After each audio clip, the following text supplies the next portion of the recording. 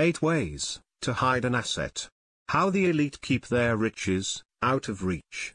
Source, Mother Jones. By VisualGK.com.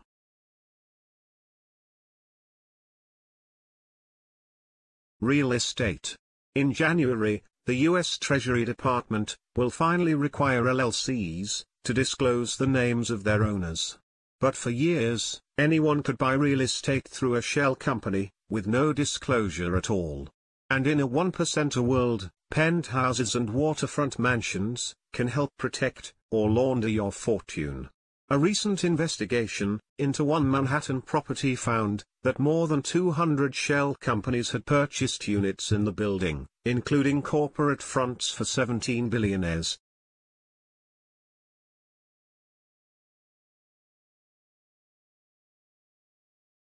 Offshore bank account. It's the simplest formula in the book. Use an anonymous trust to open a bank account in a secrecy jurisdiction. Voila!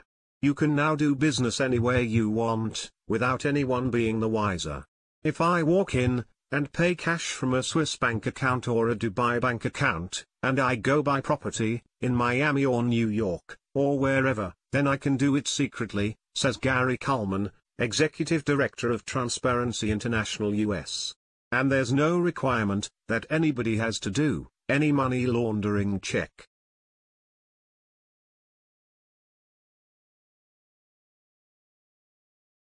A free port. Free ports, tax-free zones near shipping ports, or airports, are a real thing, and a preferred tool, for the ultra-wealthy, to move or park, an expensive material asset. In Switzerland, non-residents can store their goods, for as long as they want, without paying taxes on them, and they can do it virtually anonymously, thanks to lax reporting, of their beneficial ownership requirements, that is, regulations to identify who controls a company or asset. Free ports are especially popular destinations for expensive art collections. The Geneva Free Port holds three times as much artwork as the Louvre, and 1,000 Picassos alone.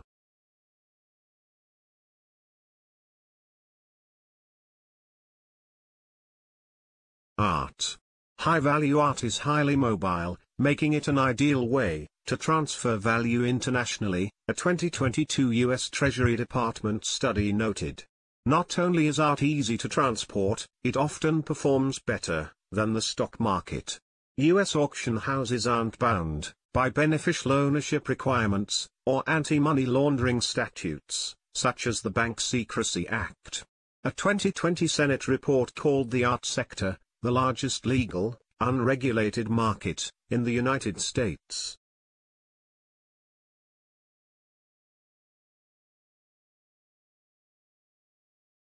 Acquire citizenship. To move your assets, it helps to be able to move yourself. Billionaires from Peter Thiel, New Zealand, to Eric Schmidt, Cyprus, to Harlan Crow, St. Kitts, and Nevis, have all acquired citizenship in countries, with golden passport programs. The cost can reach a few million dollars, but the perks are worth it.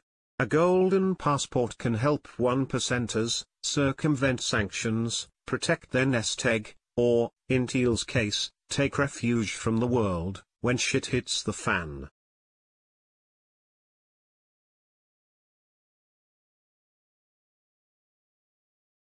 Renounce citizenship. Gaining a passport elsewhere, doesn't let you off the hook, for US taxes. But you can save big, if you give up your American one. Carnival Cruise Lines founder Ted Arison, decamped to Israel, in 1990, largely to avoid estate taxes.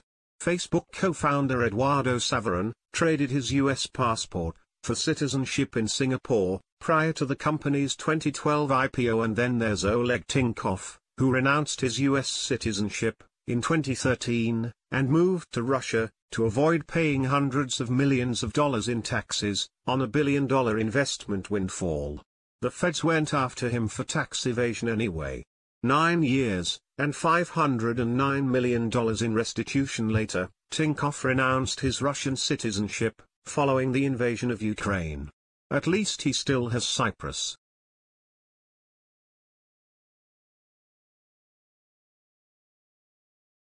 wealth managers. To get the best returns from trusts, and LLCs, oligarchs and ultra-wealthy families, turn to boutique specialty firms. In a 2023 study, Dartmouth professor Ho-Chun Herbert Chang argued that the most efficient way to sanction oligarchs would be to go after trusted lawyers, accountants, and bankers, who actually manage and move their riches, under the aegis of the wealth management industry.